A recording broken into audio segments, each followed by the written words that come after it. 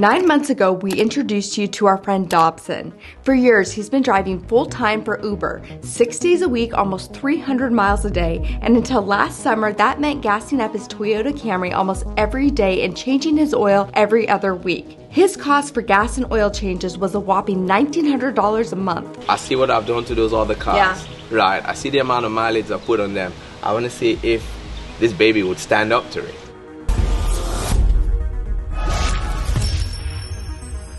Honest truth, now that I have done this change, I don't actually think I can drive a gasoline car again.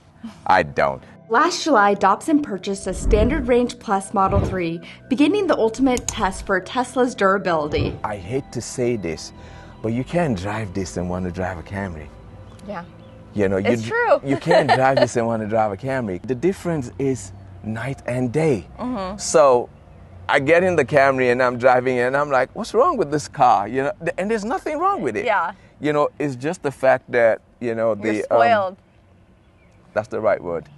you know, that's the right word. You know, you drive the Yeah. Tesla and then you don't drive anything else. Today, Dobson's old Camry sits under a tree, while his Model 3 continues racking on the miles. Even for me, it's shocking that I have driven that much. I don't know if you could help me with that. Yeah. It's you. Can you see that? almost 90,000 miles. His over 90,000 miles on the odometer is the equivalent of driving the Earth's circumference almost three times over in just the past nine months. If I said that myself, right, people will be like, "Oh no, we're not sure that's No. true." So that's why I gave you. I gave It's it to in you. here.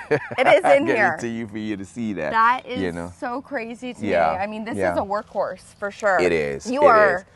And you know, you know what I said. My last, my, the, you know, the catchphrase I had that let's put the Tesla to test. Yes.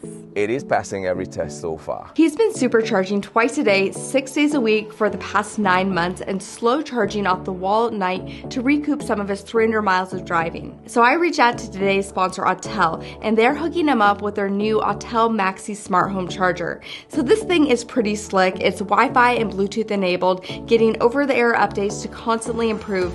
The indoor outdoor 40 amp level 2 charger plugs in directly to your NEMA 1450 outlet, and it has an in body holster with a 25 foot cable as well. Before the charger, Dobson was just getting around 3 to 4 miles of range an hour with his normal wall outlet, but this thing is at least 7 times faster, getting over 30 miles an hour of charge, so he can plug in at night and top off within just a few hours. You also get access to Autel's mobile app, allowing you to track, schedule, and optimize charging and take advantage of any off peak electricity rates. It has an optional start stop RFID feature to prevent unauthorized users if you have it outside of your house. They've got great reviews on Amazon, and from April 24th to 30th, Autel's offering a 20% discount on this charger, so I'll link it down below, so be sure to check them out. I could tell you that I know every charging point. I know bet. Every charging point. In the past nine months, Dobson would have spent a little over $15,000 on operating his Camry, about 900 on oil changes, and just over 14,000 on gas alone.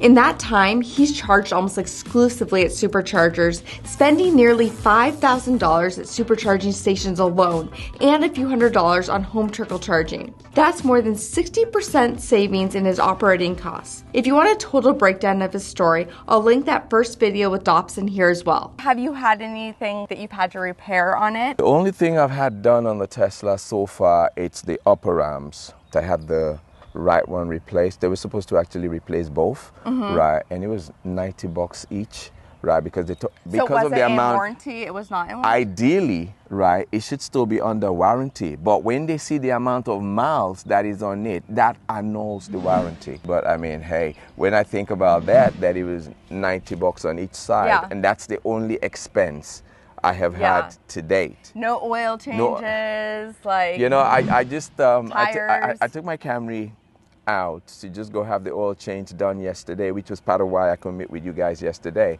Just the oil change was 50 bucks, and then the air filter was another 53. Right, that that's just one whatever for that day. Yeah.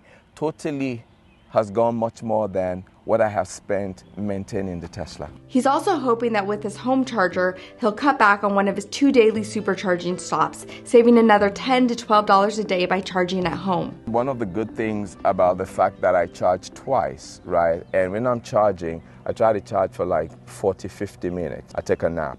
When I'm done charging, I'm still a little bit tired. So I just unplug so that I'm not having to pay for idle Yeah. time. Yeah. Right? I unplug it and then I give myself some more time to rest. And what everyone wants to know is what percentage does he charge to and how much range has he lost? His standard range plus was rated at 240 miles brand new. I checked again on the Tesla website and then they said once in a while you can just get it to the 100 but make sure you drive it immediately. Yes. Mm-hmm. So I have played with that a bit, you know, played with 90 and then 100 the odd Mm-hmm. time now and again. He says he almost always sets it to 90%, and after nearly a year of twice a day supercharging, the car shows around 214 miles while fully charged. That's also about 90% of its original rated range from when it was new. So are you still using the Camry at all? No, I don't. Um, there, maybe the odd time now and again, right? Maybe, um, like, say for instance, I just got in now. If I got a call to do a ride immediately, right, and I had to charge this, right, Yeah. I might just say, okay, you know what? Let me just um, go out with the Camry. But it's very, it's I, I use it sparsely. Now, mm-hmm. have there been times where you wish that you did have the longer range model? There, there were times that I do wish that. You could be in the thick of rush hour and you have to go and charge, mm-hmm. right? And then that just takes you off. Mm-hmm. So, but if you had the long range at that time, which is about 300 miles, right? That would actually even almost take me through my day. According to his Tesla app, 87% of Dobson's charging has happened at superchargers, but this home setup should change that. Now I can come home with close to 0 mm-hmm. knowing that I have the charger at home that I could charge it with. You can take a nap in your bed as opposed to your car. Yeah, yeah, true, true, and just have it charged. Yeah. you know. So you see why I can't thank you guys enough Oh. for that, you know, because Well, you guys, you Autel. guys are you guys are wonderful. You know, you've always looked out for me, even from the very, Oh very get we go. love this guy. You know, Very cool. What other questions do you guys have for Dobson? Leave them in the comments below. Also, please make sure you're subscribed to our channel and you like this video. Alright, guys, so last year I tweeted Elon asking if we could make gifting free supercharging miles a thing, as we have over 800,000 free miles that are set to expire soon. Would love to be able to share some of these miles with people just like Dobson who can actually put some of them to use. Feel free to share this video and see if we can get Elon's attention, and thanks again for watching, liking, and subscribing. If you're in the Atlanta area and you want ride services from Dobson, text the following number to get started. But you know, for me at that time, it was more like the initial cost outlay just sounded a lot, you know, at that time. But when you look at it over time, you'd find out that in no time, you'd actually make that money back. But for me, it was just, you know, mental block. You were used to buying these gasoline cars at a particular um, cost. And then I was also looking at the fact that it's a work tool. You know, I looked at the Tesla at that time like a luxury car, Yeah. right? And just thought, hey, no, you know what? Why? But I tell you this, Kim, since I've had this car, my clientele has also increased. Now I have corporate clients.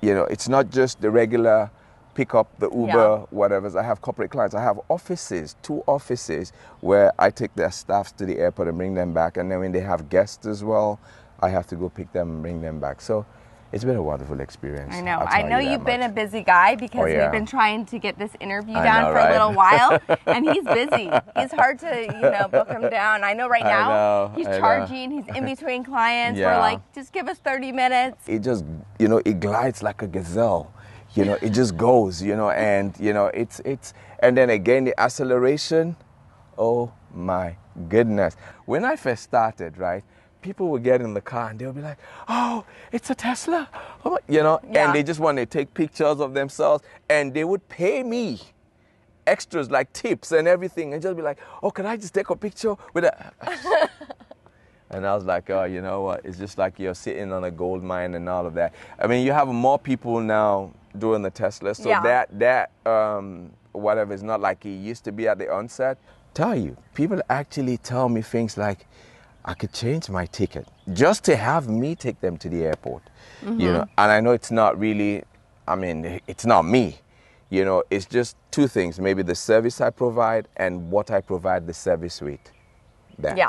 But it's also you because once you get a ride from Dobson, you'll realize like how charming this guy is, and yeah, I'll take that. It. Tesla just reduced their prices right now. Yeah, I know, I know. I know that the price, yeah, you know, the funny thing about it, that actually ticked me off a bit because my car note is still much more than how much it will cost to buy a brand new Tesla. I want to focus on me and what my goal at the, at the onset was. Mm-hmm. Goal at the onset was see how much this can reduce, you know, my expenditure, right, and everything. So even though they have dropped the prices, right, and it looks like, oh my God, I could have waited. Now, the, the amount of um, gains I have gotten just driving this rather than drive the gasoline I told you, all I have had done is the upper arms on one side. I haven't Yeah. even done the other one, right? And that alone, you know, one oil change wipes that. And I used Yeah. to have two oil changes in a month. You know, and then maybe the next time you'll be talking to me, it will be the Model What do you guys think? Does he need a Model Y and a Model 3? You're just gonna have this fleet. I know, right? I know. So, anything that you would do differently or recommend to somebody um, who does ride share and wants to have a Tesla? Any recommendations? What I'd say at this point is get the longer range. I just wanted to get a Tesla.